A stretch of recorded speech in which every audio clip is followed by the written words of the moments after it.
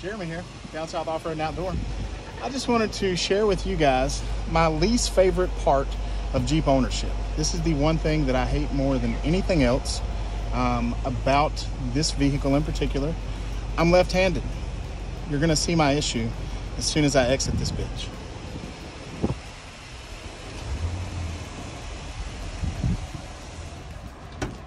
So I want you to really focus on my knife that is in my left pocket. So I'm gonna turn. I'm gonna get out. Oh, oh, there. Every single time That's super safe. that you exit the Jeep, that happens.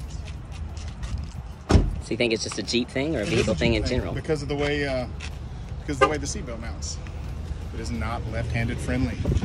So I hate it. Makes me want to die every single time, and it bends the shit out of your knives. Thanks for watching, guys.